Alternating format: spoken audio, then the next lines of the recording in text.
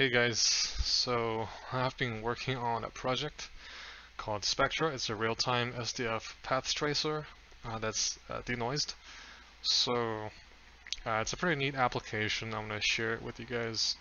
Um, the whole purpose of this is just uh, sometimes I want to play around with SDFs. I want to invent new shapes with SDFs.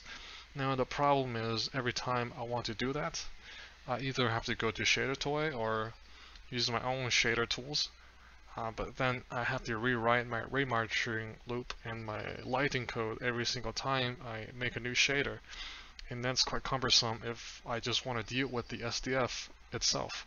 So I wrote this tool that basically acts as the, the rendering engine part for your shader. Uh, just You just have to plug in your SDF, it can show your real-time path trace uh, interactive uh, view viewport some some sort of so um, a little bit of a motivation.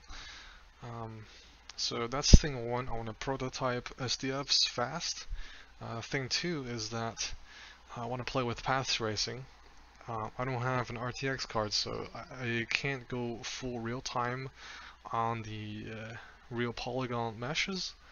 Um, the only thing that's fast enough is SDF I can path trace so I'm, I'm playing around with um, SDF and this is sort of the experiment, uh, the outcome of the experiment of playing around with path tracing SDFs. So uh, this is a pretty neat tool. Let me just get into how you can use it.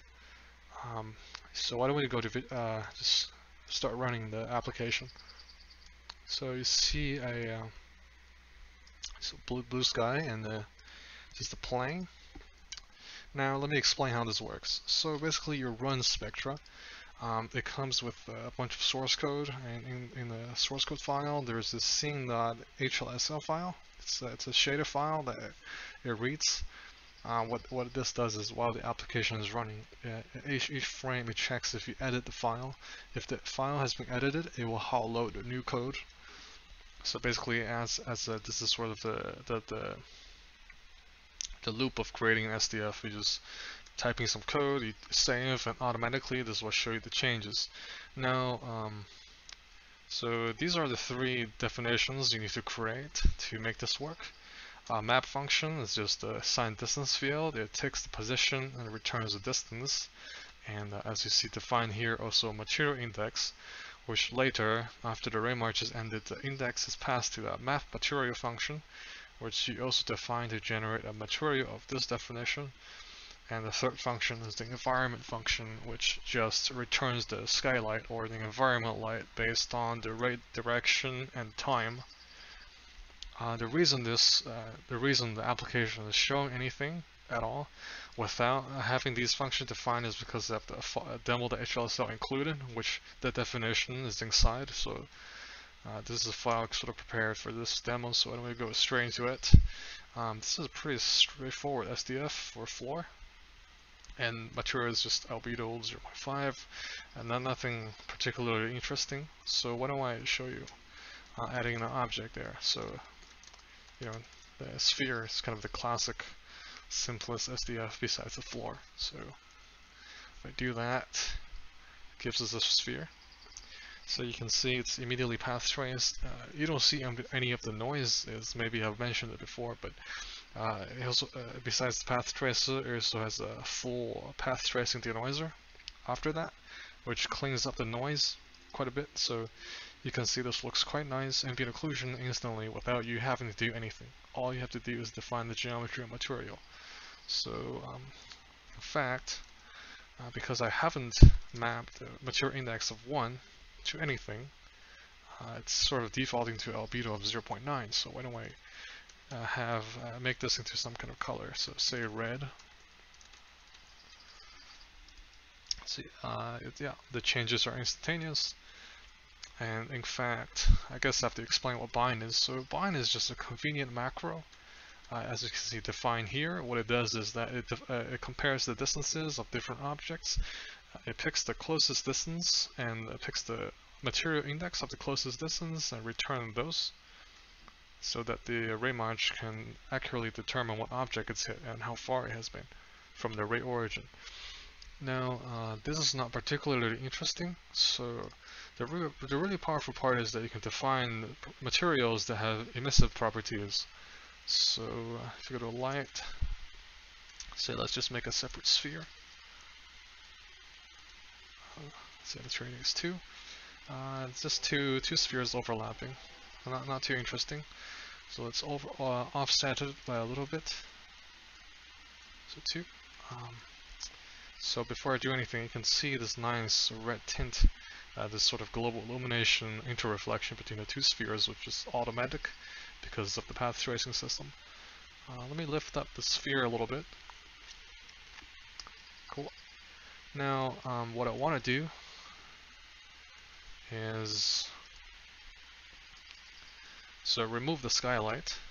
Instead, I introduce the, the light as the light source. So to do that, all I have to do is change the emission value of the uh, mature index 2, which corresponds to our light geometry. So save, you can see immediately you can, you can uh, that the lighting just works. a little stronger. Yeah, so you can see a very nice soft shadow, right? You know, all thanks to this path tracing and the image is relatively clean due to effects of the denoiser. Of course, uh, there's some boiling, so one limitation of this version of Spectra is there's no uh, next event estimation to help with the uh, sampling variance because, as I said, as I said, the geometry, I mean the emissions are procedurally defined, um, which means that you don't have a uniform uh, surface for the emissive uh, uh, objects that you can uniformly sample for the next event estimation, which makes it quite hard to to kind of kind of do this. But uh, uh, we already have a lot of that implemented, so your order looks quite nice. Uh, these are sort of the next thing to tackle uh, on a to-do list, I would say. So another thing is that you can see how time passed in to these functions. that means we can even animate the light source. Like so.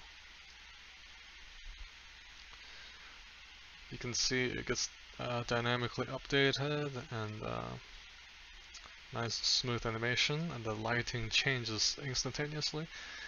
Uh, nice uh, light bouncing back to the sphere from the floor and nice soft shadow that's physically correct. So this is pretty nice. Uh, it's the it's the it's the this is so this uh, so that that was the live demo part. Uh, why don't I show you some of the other scenes? So Sphere 2 is just the same thing. Uh, so uh, Cornell box, of course. Once you have a path tracer, you got to put Cornell box in there. So here's Cornell box. Again, a little bit of artifact and boiling due to the uh, sampling variance. Um, again, for relatively small source, um, we don't have next event estimations, so we kind of have to deal with the noise for now.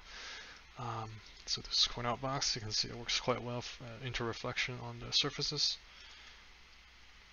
Next is uh, Tron, which is just a bunch of spheres that are infinitely laid out. Um, here we, are we're, we're conveniently using the uh, modulate operator so in the signed distance field context, that means we're repeating the space itself. Um, we can do this infinitely, which uh, results in an infinite number of spheres. It's a nice, it's a nice property of a signed distance field. So now I move my camera way off. Let me just go back, since the uh, the following scenes sort of need that. Okay. Cool box. Uh, so it's the empty room with some cool lighting, some some weird object in in the middle. Um, you can see uh, stripe light, nice inter-reflected uh, light here. Very nice. And uh, the last one is interior. It's so it's a shader I had on the Shader Toy. I just ported it to this engine. So beforehand, uh, before I share it with, if I want to have some kind of nice imagery like this, I need to wait for the noise to go away.